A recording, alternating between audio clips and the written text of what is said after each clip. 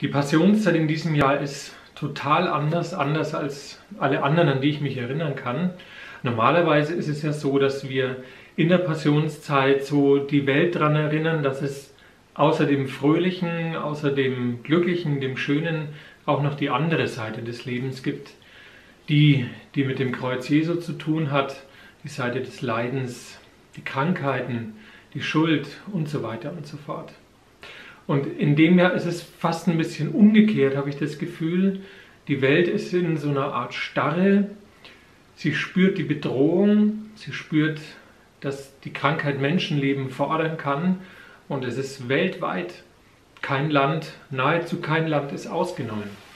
Und ich habe so ein bisschen den Eindruck, in dem Zusammenhang müssen wir auch mal an die andere Seite erinnern. Also, dass es eben nicht nur Corona gibt, sondern im Leben auch die andere Seite, auch das Schöne, das Fröhliche, auch das Lustige, worüber man sich auch mal so richtig schief lachen kann. Ich habe mir gedacht, ich stelle euch zwei Bücher vor, die ich eins regelmäßig gern zur Hand nehme, das andere habe ich vor kurzem gelesen.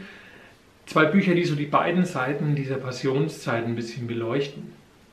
Das erste schaut so aus, das ist ein Reklambändchen, lustige Lyrik. Da sind lauter witzige Gedichte drin und eins davon lese ich euch jetzt mal kurz vor. Übrigens ein Gedicht, bei dem geht es ein bisschen ums Vergessen, ihr werdet es gleich merken. Und mit dem Vergessen hat auch dann das zweite Buch zu tun, das ich euch zeigen will. Also von Jan Kaiser, eine Verwirrung. Es lebte einst in alten Tagen, so Kreide Jura, würde ich sagen. Es mag auch zweite Eiszeit sein, auch lasse ich mich auf Neuzeit ein.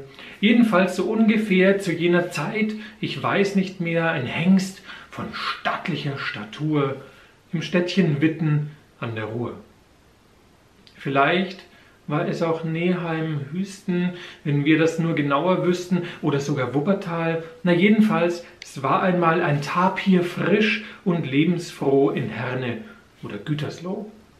Moment, da komme ich jetzt ins Schwanken. Ich will mich nicht um Namen zanken, doch Pirmasens kommt auch in Frage. Und wo ich gerade Lörrach sage, da fällt mir brühwarm wieder ein, es muss ein Lurch gewesen sein. Nun denn, das Schicksal es schlug zu, und zwar war das in Friedrichsruh, was wiederum zur Folge hatte, dass die just genannte Ratte Hals über Kopf Paris verließ und bald auf ihren Schwager stieß. Und der war ganz ein schlimmer Finger, man erlebt ja manche Dinge, doch was jener angestellt ist, einzigartig in der Welt. Und zwar, hört her, ich lüge nicht, ich bringe die Wahrheit jetzt ans Licht, es stimmt, so wahr ich Kaiser heiße, Moment, ich habe es vergessen.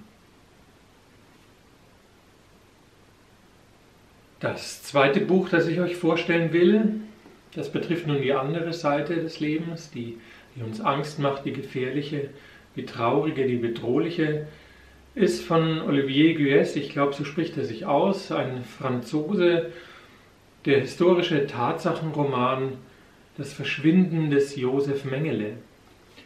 Josef Mengele war Lagerarzt in Auschwitz, hat dort unzählige Menschen in den Tod geschickt und an unzähligen Menschen bestialische medizinische Versuche vorgenommen. Mengele konnte dann entkommen, hat ein paar Jahre noch unentdeckt und untergetaucht in der Nähe seiner Heimatstadt in Günzburg gelebt und ist dann nach Lateinamerika geflohen. Dort hat er ganz viele Unterstützer gefunden Menschen, die ihn auch bewundert haben, die ihn versteckt, die ihn gedeckt haben. Er hat sogar teilweise unter seinem richtigen Namen in Argentinien gelebt und ist dann 1979 in Brasilien verstorben. Er ist also nie gefangen genommen worden, er ist nie vor Gericht gestellt worden und auch der, die Suche nach äh, Mengele hat viel zu spät begonnen. Man hat ihn fast vergessen gehabt.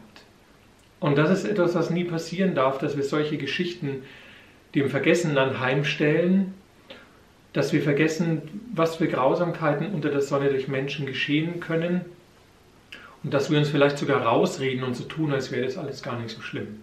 Das sei übrigens all denen ins Stammbuch geschrieben, die davon reden, dass die Jahre der Nazi-Diktatur nur ein Fliegenschiss in der deutschen Geschichte waren. Wir dürfen nie vergessen, nie vergessen, was damals geschehen ist.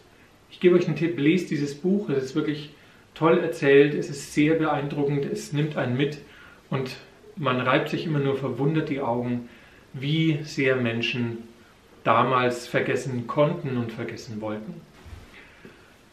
So, das waren meine Literaturtipps für euch. Ihr findet sicher ganz viele spannende Bücher im Bücherschrank und wenn ihr diese Bücher lest, dann lasst euch berühren, lasst euren Horizont weiten und denkt immer daran, dass wir mit diesen beiden Seiten des Lebens, mit der fröhlichen, mit der glücklichen, mit der ganzen Schönheit, aber auch mit der rätselhaften, mit dem traurigen, mit dem schrecklichen, mit dem, was uns Angst macht, immer von unserem Gott umfangen sind, der beide Seiten dieses Lebens kennt. Ich wünsche euch alles Gute.